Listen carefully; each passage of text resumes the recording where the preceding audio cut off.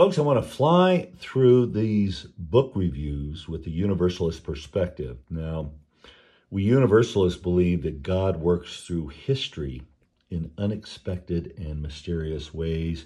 But one way we can see here in these new books is that there's always a fresh look at the history about anything. Um, and this helps all generations, I believe. So let's go there.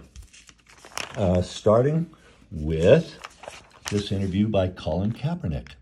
Reading about Roberto Clemente was life changing. I saw myself in a story, and that was has stuck with me ever since. Now he's a publisher and the co-writer of the picture book We Are Free, You and Me. Exile on Wall Street, a historian recounts the uphill and ongoing battle of women to break into the finance industry. The book, She Wolves, The Untold History of Women on Wall Street. Quagmire, this new book, The Bog Wife. A West Virginia family must reckon with betrayals and the destruction of their legacy when a supernatural covenant begins to falter. It's an unwieldy and hard to describe setup, but the five siblings are the greatest strength of the narrative. The buck stops elsewhere. This new book, Lucky Loser How Donald Trump Squandered His Father's Fortune and Created the Illusion of Success.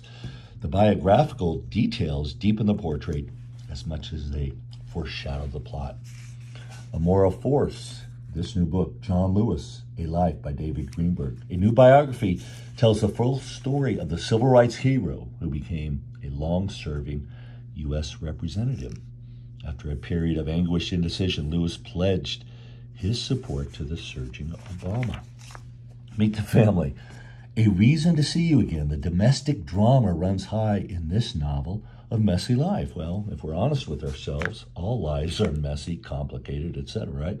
Years pass like pages torn from a calendar in an old movie, a nearly four decades dance of attachments and estrangements. All families are broken families if we share the secrets. Once more, unto the breach. Henry V, the astonishing triumph of England's greatest warrior king. Literary destinations, these are always fun. Read your way through New Orleans, classic books about New Orleans. Geek Love, The Unicorn Woman. An itinerant man discovers his beloved as a sideshow carnival attraction. But this is a Gayl Jones book. There is, of course, much more afoot. This new book, Vertigo, The Rise and Fall of Weimar Germany. Before the Nazis, the Weimar Republic was a hotbed of cultural experimentation. A new history, again, new history, argues that its demise was not inevitable. Hmm. The Polite Militants. The Siege is the title. A six day hostage crisis and the daring special forces operation that shocked the world. A British historian gives a lesser known 20th century Iranian hostage crisis, it's due. Safety, annihilation. Both a family and a society are on the verge of breakdown in Michael Houellebecq's new novel. He would not, not be worth arguing about if he were not so often a terrific writer, insouciant, shrewd, and Pyrrhonic all at once. And then reunion. Three adult siblings come together for on the first anniversary of their sister's death. Blue Sisters is the title.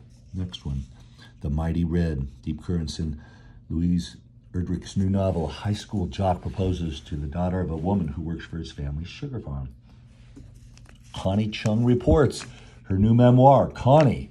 In a frank new memoir, the TV newscaster recounts how sexism and Dan Rather sidelined her groundbreaking career. And then finally, children's books, Before the Attic, and ominous dreamscape. When We Flew Away, a novel of Anne Frank, Before the Diary. Again, eternal truths, life lessons in these children's books.